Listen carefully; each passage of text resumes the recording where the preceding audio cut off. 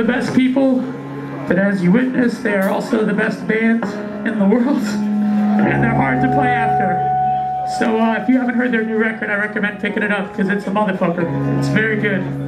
Very good. These are our last three songs. Thank you guys all so much for coming out. Thank you.